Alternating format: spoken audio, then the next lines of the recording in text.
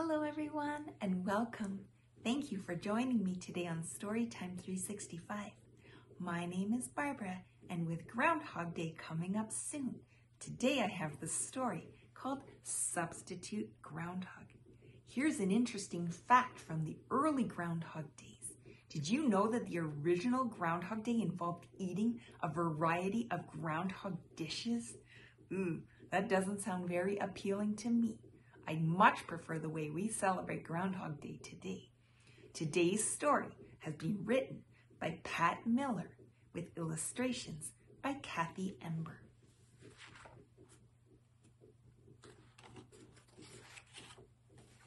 The day before Groundhog Day, Groundhog woke up sick. His muscles ached and his throat hurt.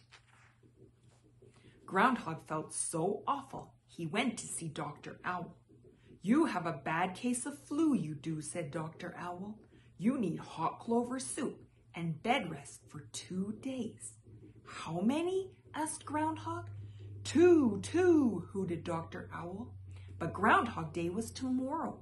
Groundhog couldn't let everyone down because he was too sick to do his job.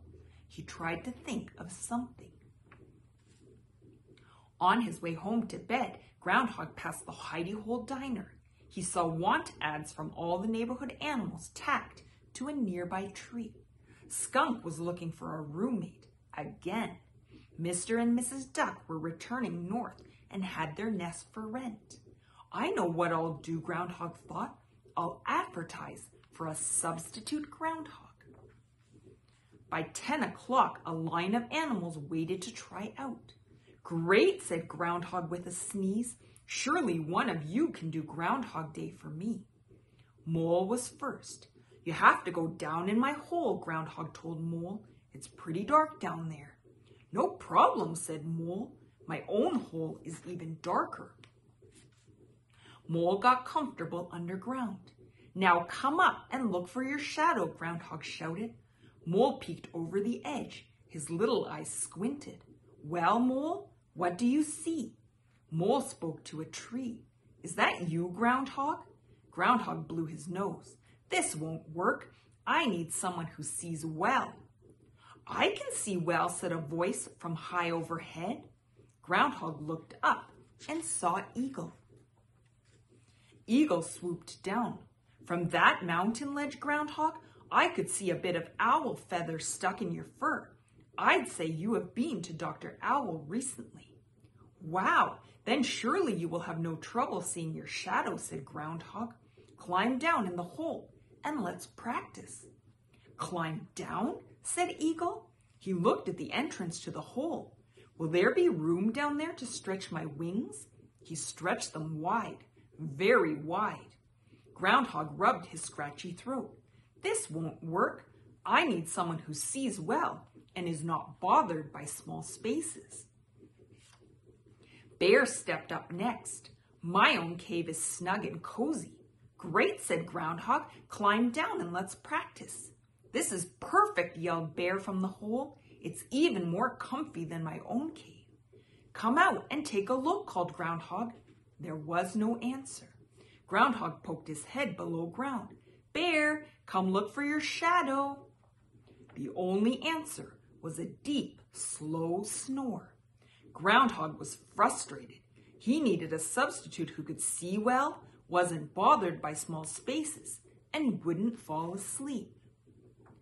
I can do it, I can do it, let me try. Squirrel bounced to the front of the line. Okay, said Groundhog, go down in the hole, come back up, and look for your shadow. Squirrel leaped in. Whee! Then she popped her head back up. Groundhog said, See your shadow? Oh, I forgot to look. Down she went. She popped back up. She dropped back down. I keep forgetting to look, Squirrel giggled. She popped up and down some more. This is fun, she said. But what Groundhog needed was someone who would pop up and stay up. By now, Groundhog was feeling even worse. He thought of his warm bed. Was he ever going to find a substitute? Howdy there, Groundhog. How about giving me a chance? Up stepped a strange looking creature. My name is Armadillo, she said. You're not from around here, are you? asked Groundhog. Nope, I'm from Texas, visiting my cousin Badger, she said. But I can do this job. I live in a hole. I like small spaces. I see my shadow just fine, and I will pop up and stay up. Groundhog wasn't so sure. Armadillo was a stranger from far away. What did she know about the weather here?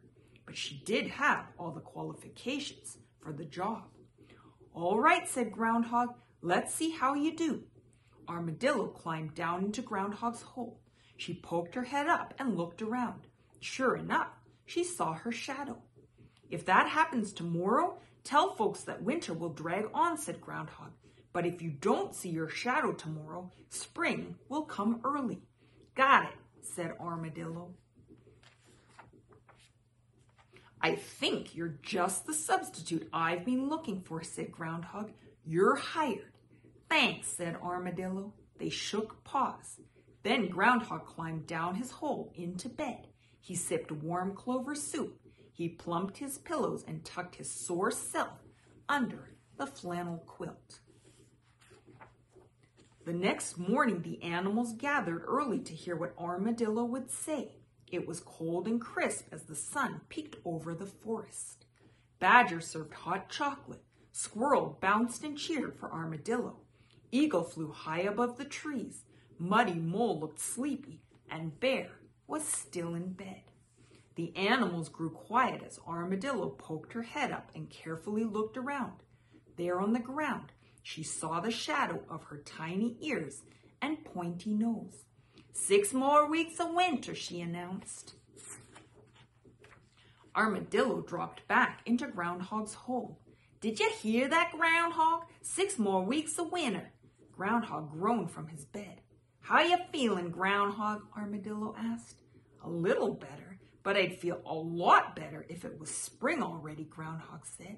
Spring already? said Armadillo. Say, that gives me an idea. Armadillo found Groundhog's suitcase. Get your gear together, Groundhog, she said. It's already spring in Texas. You can come home with me. Really? said Groundhog. He imagined himself rolling in warm grass instead of sneezing through six more weeks of cold.